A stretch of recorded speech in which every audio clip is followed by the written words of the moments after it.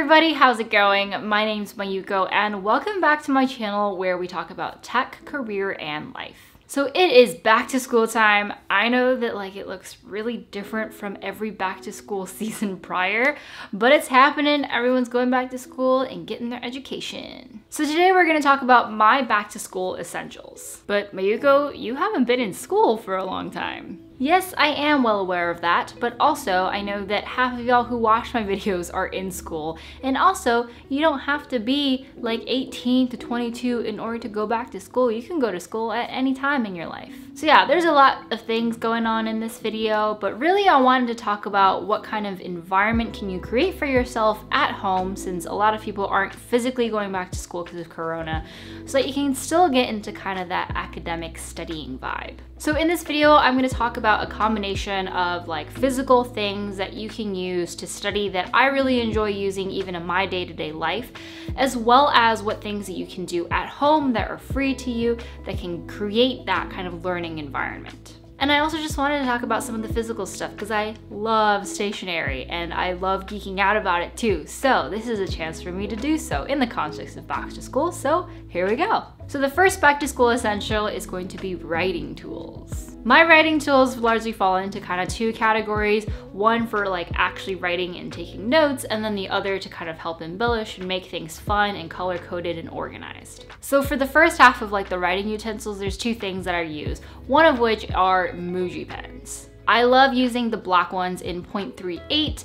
They just glide super well. The ink doesn't run out that quickly. They're very reliable. The shape and style of them are also really pretty and kind of look great with any notebook. Even just for that alone, I am so glad that Muji came to the US. And then the second writing tool that I have is actually a fountain pen. I picked this up because a notebook that I have is made for fountain pens, so I figured why not try it out? So I have the Kaweco fountain pen and it is gorgeous. I don't exactly remember what it's called or anything, but all of the products and stuff will be linked in the description box down below so you can check that out. I really like this fountain pen. It writes super well, glides really nicely. Um, it gives me a variation of different thickness and thinness depending on how I write. And the blue ink color that I have is also really pretty and easy on the eyes. It also just feels cool to just like have a fountain pen. Like it gets me hyped about writing because I feel like having a fountain pen feels like I'm like legit writing even if I'm just writing notes and scribbles and stuff.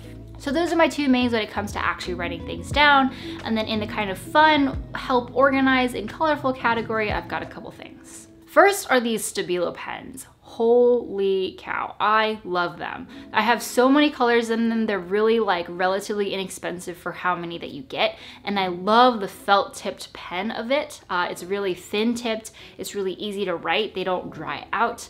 And all the different colors are really fun to play with. The second are these midliner pens that I picked up in Japan. I love them. I like that there's a thin tip and a thick tip so I can kind of use it as like a highlighter even and play around with different shapes. The colors I really, really like of this one and it kind of just makes it fun so that I can make certain words into headlines and kind of scribble around and make things look nice. Really, I think a lot of my writing utensils just make writing and taking notes fun, uh, and it's fun to like be excited about writing things down with like your new shiny pens. And then also in this fun category, I've got like a small collection of washi tape. I've got a couple from Muji, which are really sleek and minimalist, but also a little bit Japanese. And then I've also got these Snoopy stickers, because I love Snoopy, and I will take every chance that I get to embellish my notes in Snoopy. So those are the things I use to write things down and take notes. Next, I wanted to talk about notebooks. So I typically tend to use two kinds of notebooks when I'm studying anything. One is kind of like my main, I drop everything in there except for like class and book notes. And so these are things like bullet journal spreads if I decide to do one one week, sometimes journal entries, sometimes just like random notes and to-do lists and drawings and thoughts and stuff that I just wanna dump. So I've got the Seven Seas Crossfield notebook, and this is the Japan version that I bought. Apparently the squares in them are perfect for like Japanese writing or something like that. Uh, but I found this in Japan and I am in love with it. This is actually like the first notebook that I've like filled more than halfway. And you know that like sound that you get when you like fill in enough notebook pages, like this sound? Just that like touch and the sound, the feel of a like full notebook is something that I now realize I've been missing out on because I had such a hard time filling notebooks like these. But yeah, I got it in this really pretty blue color. I put stickers on it. It's really easy to write. The pages are like pretty thin.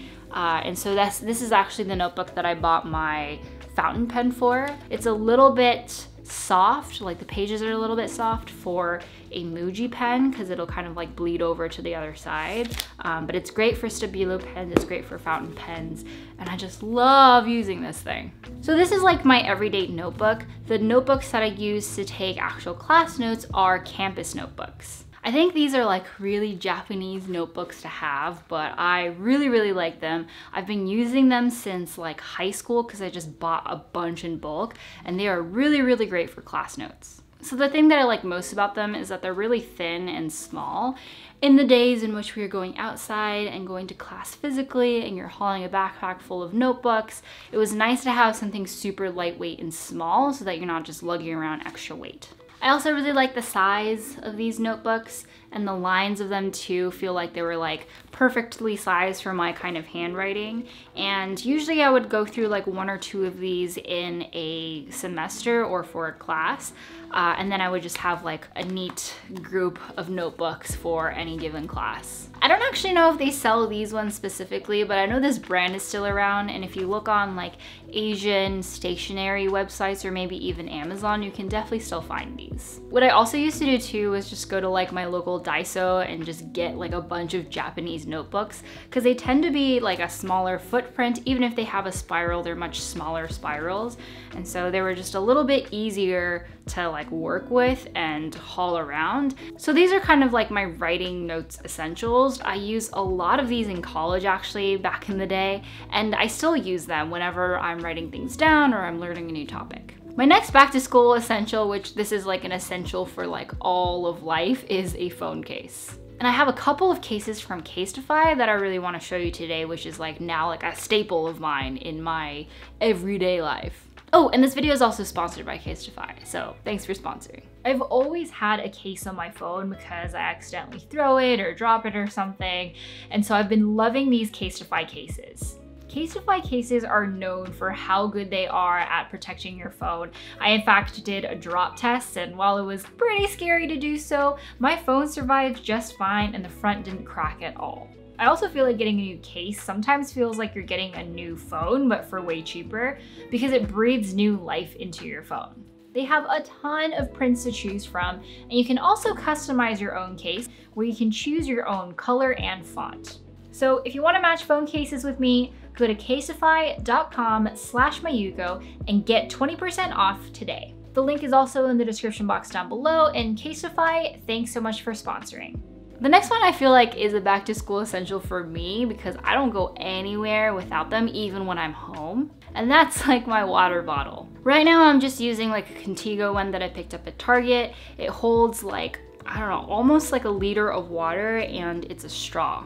I bought this one because I wanted something that I could use to drink water like while I'm driving. Like it fits in a cup holder.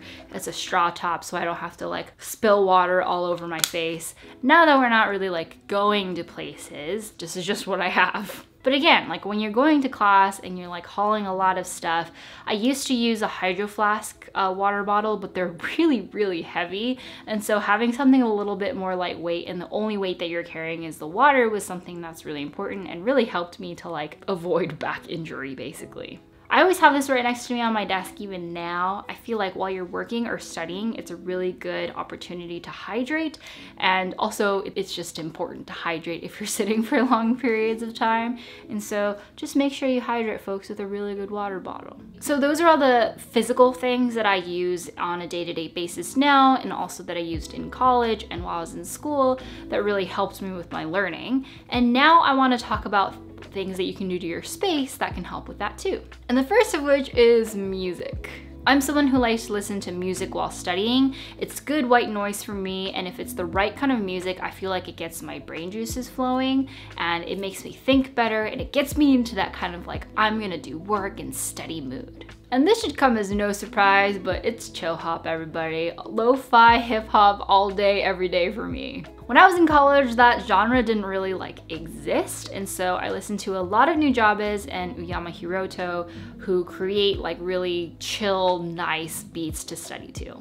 But in 2020, chill hop, lo-fi, hip hop stuff is everywhere, which is great.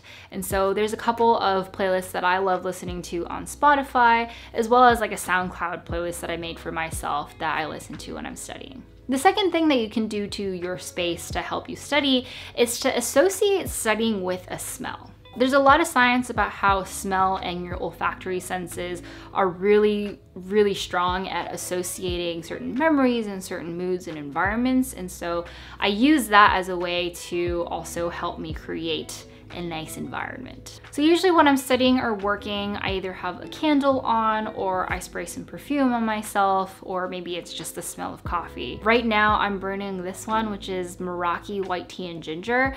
I picked this up in Norway during my honeymoon in Scandinavia last year and it just smells so good. It's a very clean scent uh, and I like this one. I also have been using a perfume sample that I got from Aesop, which is also very like woody but also floral. And the last thing that I do to help with creating a space is to find a quiet space to work in. Now I know this one's tricky because I know a lot of y'all are moving back in with your parents or you have roommates or something, but I do think that having a focused, quiet study space, which, you know, in traditional terms might be going to like a library or a lab, uh, is really important to have a place to think. So I think there's two ways to go about this. One is to drown out everybody else with something like noise canceling headphones, which I sometimes use. Or you can have a conversation with the people you live with and negotiate kind of like a quiet study time so that you can set boundaries for yourself and for them so that you can still get this quiet study time that you need like on a schedule or something. And the last thing that I want to talk about, which is neither like a physical thing or a space, is a system that you can set up for yourself. So when you're going to school, I think one of the best things about going to school physically is that you're seeing other people, um, you're working with them, you are studying with them, you're interacting with your teacher. But because of COVID times, we're not really doing that because we want to be safe and not give corona to everybody. But I think there is a lot of value in seeing people face to face and having that be a motivator for you to get your work done. So a system that I think could really help you with this is to find a way for you and your friends to hold each other accountable. I show this in the recent vlog, but I have a stand up with my friends like every day, Monday through Friday, uh, where we just talk about what we did yesterday and what we're gonna do today. And that alone has been really helpful in one, getting me out of bed, and two, talking to other people about what I'm gonna But it really is just about checking in with each other and supporting each other, especially through this like weird time in history in which y'all are going back to school. So that's it for this video. Thanks so much for watching. Make sure to click subscribe if you want to see more videos like this. And leave a comment down below and tell me what essentials that you have for this upcoming school year. I will see you in the next one and hope you have a great day wherever you are. Bye!